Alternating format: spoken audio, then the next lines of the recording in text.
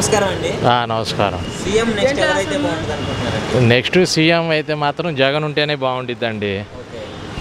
Reason ఏంటండి? జగన్ గారు ఏంటి? రీజన్ ఏముందండి? బాగానే ఉంది ఏదో ఒకటి జరుగుతుంది పరిపాలన. చెప్పిన హామీలు కానీ మొత్తం నెరవేరుస్తున్నాడు.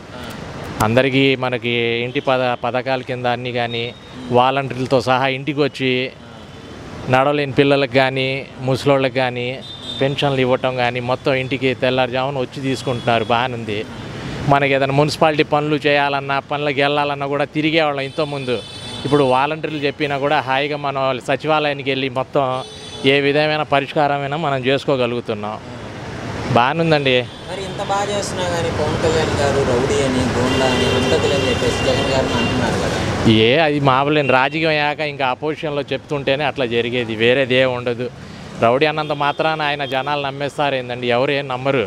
మంచి చేసేవాడు మంచి చెప్తారు కానీ పది మంది రౌడీలు అనగానే రౌడీ పాలన అయిపోయిద్దా? రౌడీ పాలన అయితే ఎందుకు తీసుకోవటం? జనాలు డబ్బులు తీసుకోవటం దేనికి? పథకాలు తీసుకోవడం దేనికి? పెన్షన్లు తీసుకోవడం దేనికి? అసలు అంత ఉన్నప్పుడు ఇప్పుడు జగన్ వద్దన్నప్పుడు వాడు ఏ పథకాలు కూడా తీసుకోకూడదు. వాడు కడుపుకి అన్నం తినేవాడైతే మాత్రం తీసుకోడు. మరి అది తప్పు చాలా తప్పు. జగన్ వద్దన్నప్పుడు పథకాలు కూడా వద్దు అనుకొని వదులుకోవాలి. వాడి డబ్బో లేకపోతే ఎవడి డబ్బో అప్పో సొప్పో చేసాడు ఏదో ఒకటి ఇస్తున్నాడు. చెప్పిన మాట నిలుపుకు నిలబెట్టుకున్నాడు. ఇంకా అదేగా మనకు కావాల్సింది. చంద్రబాబు గారు చెప్పిన మాట నిలబెట్టుకున్నారా మరి? ఆరు వందల హామీలు ఇచ్చాడు కదా చేశారా? చంద్రబాబు నాయుడు గారు ఉన్నప్పుడు హామీలు అనేది మనకి అంత ఐడియా లేదు కానీ ఏ విషయాలకైనా తిరగాలన్నా మున్సిపాలిటీ చుట్టూ తిరగాలన్నా ఈ పన్నుల గురించి కానీ ఇంటి పన్నుల గురించి తిరగాలన్నా వాళ్ళకి వీళ్ళకి మాట్లాడుకొని మనం చేసుకునేవాళ్ళం. ఇప్పుడు ఇట్లా లేదు కదా మనకి. ఇప్పుడు ఈ సచివాలయం వ్యవస్థ కావచ్చు వాలంటీర్ సిస్టమ్ కావచ్చు ఇవన్నీ ఎలా ఉన్నాయండి? ప్రజలకు ఉపయోగకరంగా ఉపయోగకరంగానే ఉన్నాయండి. బాగా అసలు చక్కగా ఉన్నాయి ఉపయోగకరంగానే ఉన్నాయి. వాలంటీర్ వాళ్ళు ఏ విధంగా కష్టపడినా కూడా పొద్దున్నే ఏదైనా కానీ పెన్షన్లు ఇవ్వడానికి తెల్లవారు వచ్చేస్తున్నారు. అది మాత్రం సూపర్. దానికి ఏం సంబంధం లేదు.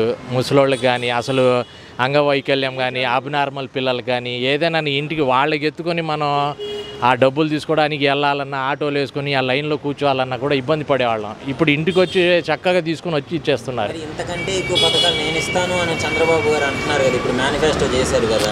అది ఇంకా మనం అది నమ్మటం వేస్ట్. ఉన్నదాన్ని మనం పోగొట్టుకోవటమే కానీ ఆశపడి ఏది ఉండదు. చేస్తున్నది జరుగుతున్నది కళ్ళ ముందు చెప్పింది నిజమైంది కాబట్టి దాన్నే ఒప్పుకోవాలి.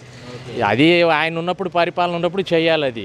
ఆయన ఉన్నప్పుడు చెప్పుకోకుండా ఎవడో చేసిన దానికి నేను చేస్తానంటే ఇప్పుడు మనుషులు ఇంకా మన జనాలు నమ్మాలి. నమ్మితే ఇంకేముంది దాంట్లో?